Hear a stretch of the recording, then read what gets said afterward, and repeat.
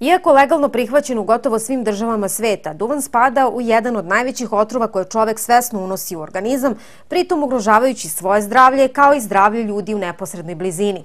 Svake godine u svetu 4 miliona ljudi izgubi život zbog posledica pušenja. To jest, svakih 8 sekundi umre jedna osoba od neke bolesti izazvane duvanskim dimom, u kome se nalazi preko 4000 štetnih i 43 kancerogene materije.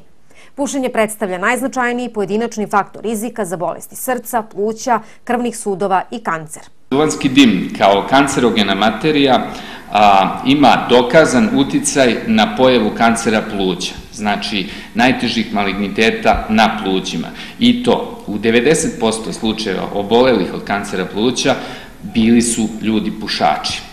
Takođe, utiče na učestaliju, odnosno učestalu pojavu raka usne duplje i raka grkljana i to sa nekim procentom od 80% ljudi koji su dobili rak grkljana ili rak usne duplje bili su pušači. Sad, ako se vratimo na kardiovaskularni sistem, bitno je da se pomene da u duvanskom dimu kao osnovni uzročnik zavisnosti nalazi se nikotin.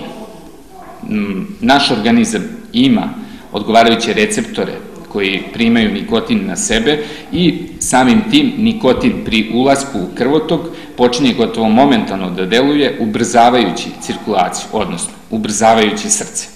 Pri tome, remeti i a, normalan endotel, odnosno kompresibilnost krvnih sudova, remeti status masnoća u krvi i svim tim mehanizmima doprinosi do bržeg starenja kardiovaskularnog sistema sa krajnjim ishodom na, u pojavi infarkta miokarda i infarkta mozga.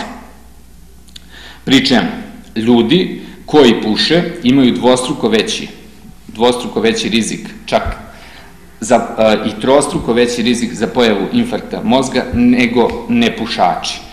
I po, tome, po tim se podrazumeva da su ti ljudi pušili u poslednjoj godini pre pojave moždanog udara ili pak pojave infarkta srca.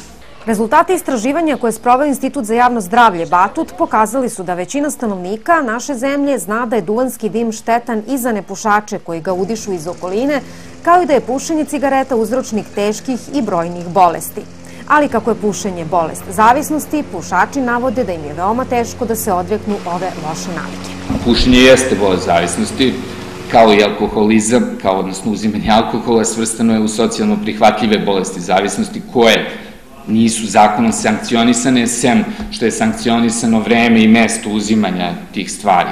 Inače, kao socijalno prihvatljive dostupne su svuda, u čemu zavisnost se kod pušenja isključivo bazira na nikotinu, Nikotin je, znači, unet u organizam, ponaša se kao transmiter, kao nešto što prenosi signal, utiče direktno na nervni sistem i od tu da se javlja zavisnost. Potreba da se taj doživljaj ponovi. E, iz potrebe da se nešto ponovi, javila se zavisnost.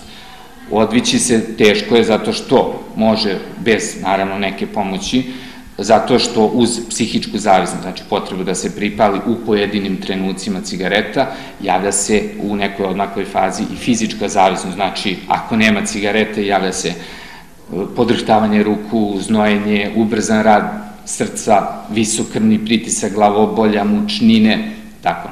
Sad, Postoji u svetu više programa za odvikavanje, uglavnom savetuje se uvek da se momentalno pre, prestane sa pušenjem, i po nekim programima najčešće uvodi se jedan moderniji antidepresiv, zove tableta se zove Ziban i to je neki program koji traje do 2-3 meseca uz podršku lekara.